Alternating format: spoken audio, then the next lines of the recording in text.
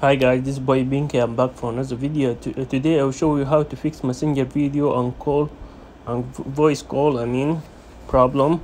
The first thing, make sure you are not connected in Wi-Fi. You connect your uh, uh, SIM Ethernet, and this, the the second or the next step, go to Chrome or Safari.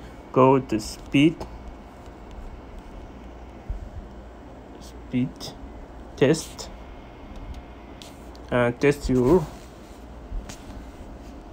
your connection is weak or something like that. If weak that problem from your internet connection let's test it.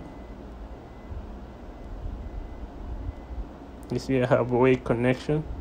And the next step if not fix your problem that last step go to setting from setting go to general from general go for iphone storage and wait for a second.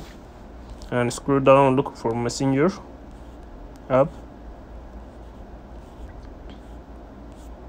Messenger app messenger messenger. You see messenger.